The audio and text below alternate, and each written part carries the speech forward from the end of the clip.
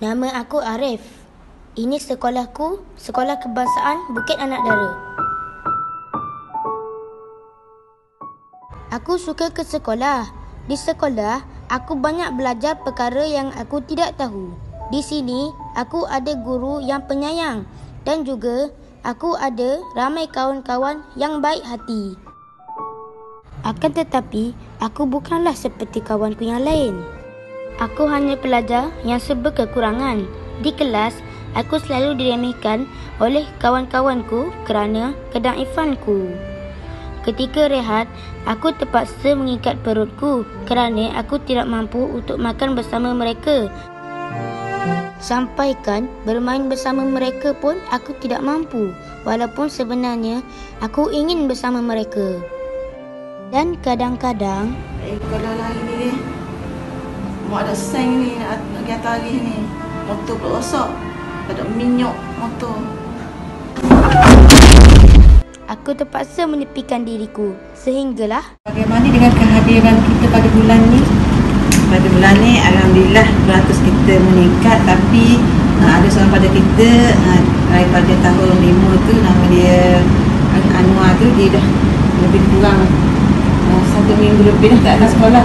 Jadi oh. sekarang uh, cara kita uh, nak mengatasi masalah ni uh, supaya dia uh, hadir ke sekolah seperti biasa. Ada cadangan daripada fikir-fikir. Okey, saya cadangkan kita pergi buat zi- ziarah Cak Ne ke rumah Okey, saya rasa mereka datang mencariku dan mendengar kisah keperitan hidupku.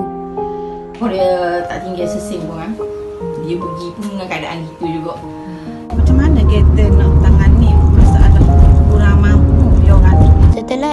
pelbagai inisiatif yang dilakukan oleh guruku untuk membantu mereka yang mempunyai nasib sepertiku. Kini, aku dapat bersama dengan kawan-kawanku dan mereka juga sentiasa membantu aku dan aku tidak perlu mengikat perutku lagi. Aku mampu berbelanja dan makan bersama kawan-kawanku yang lain.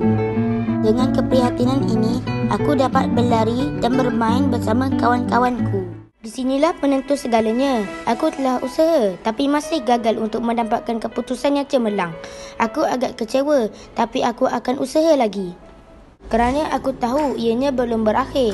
Aku berjuang dan terus berjuang demi mengubah nasib hidup kami sekeluarga. Kini aku telah berjaya dalam hidupku dan aku kembali merindui seribu kenangan pahit manis di sekolahku suatu ketika dulu.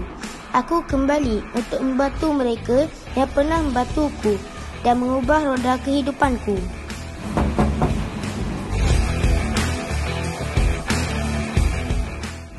Cikgu, ini sumbangan saya untuk ibu. Dengan bantuan kecilku ini, aku harap aku dapat memberi peluang untuk generasi baru terus memperjuangkan sekolahku ini. Di sinilah aku memulakan langkah kejayaan buat diriku. Di sinilah tempat aku dicurahkan sebuah kasih sayang yang tiada penghujungnya. Namaku Arif dan ini masih sekolahku. Dulu, kini dan selamanya. Terima kasih cikgu